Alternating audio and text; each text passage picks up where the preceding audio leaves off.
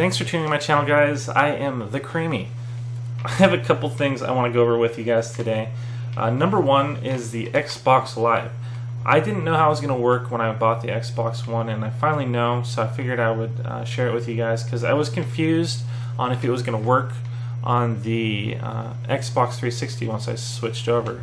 Um, so that's one thing I want to talk about today. Another thing is dashboarding, and then um, the HDMI in. Those are the three things I want to talk about on this video. But real quick, you guys are watching me play on whatever this map's called. I forget what it's called, but I go like 31 and 4. Um, I'm not going to be uploading this this map as much anymore, just because I feel like it's turning into Nuketown, where everyone's uploading video after video, and that's all I really see on YouTube is this map. And so um, I'm sure a lot of you guys know what this map's called. I do apologize. I don't remember. I don't remember off the top of my head what it's what the name of it is, but um, Xbox Live.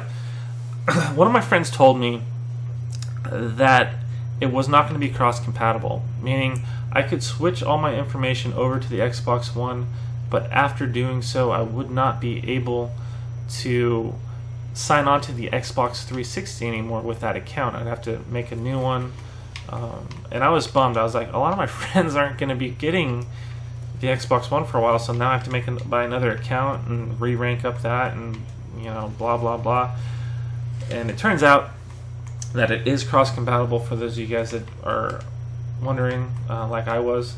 It's cross-compatible, meaning you can sign in on your Xbox One, rank it up in Call of Duty Ghost, and then pick up where you left off on the uh, Xbox 360, and rank it up in that, and then uh, switch back over. It's it works just fine. So it's cool because if you have a friend that you want to play with on the 360, you can rank your your character up on that game, and then you know continue it on the Xbox One later when you're playing by yourself or with your other friends. So I thought I would share that if you guys were kind of wondering how that works. Another thing that I noticed was that there's no dashboarding in the, on the Xbox One.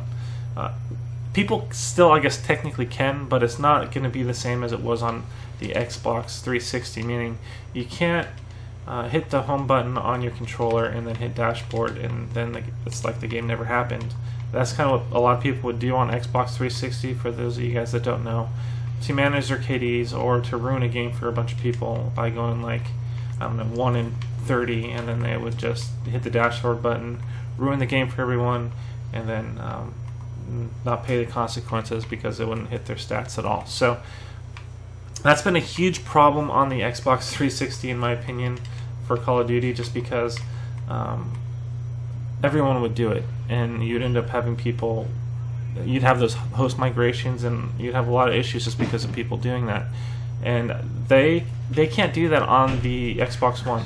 I mean, I guess they could technically turn off the Xbox or unplug the internet, but it's a lot more inconvenient. It's not just a couple clicks of a button. So, um, from what I've noticed, there's a lot less of that happening. And on Call of Duty Ghost, that's nice because uh, this is kind of like league play from Black Ops 1. That's how Ghost kind of works. Like, it doesn't refill the slot when someone leaves, so you end up playing a game with like two people for a, a lot. Or three people. I mean, it just depends how many people dashboard. Uh, but I don't notice that as much on the Xbox One, so I thought I would share that information with you guys because I thought it was pretty cool. Uh, another thing, the HDMI in has like a two and a half to three second delay from what you've seen on screen from what's actually happening. So I think it was designed mainly just for watching uh, cable TV or plugging your cable box into it. I don't think it was made for a console. So if you're going into it thinking you can use it for like your Xbox 360 or your PS3 as an input for your TV, uh, it's not going to work um, that well unless you're. I don't know what game you could play where that wouldn't matter.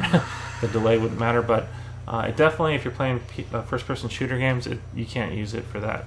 Uh, so if you only have like one input on your TV, that could be an issue. So I thought I would uh, let you guys know because that was uh, something that I just found out. So, anyways, you guys, if you enjoyed this this video, please give it a thumbs up. Um, if you haven't subscribed, please do. And as always, you guys, especially in this game, be sure to check your corners.